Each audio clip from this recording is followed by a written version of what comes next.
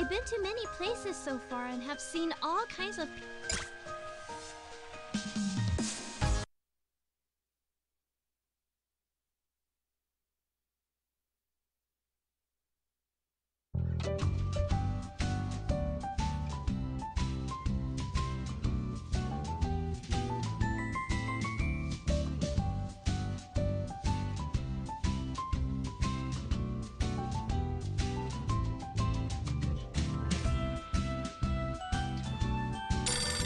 Thank you.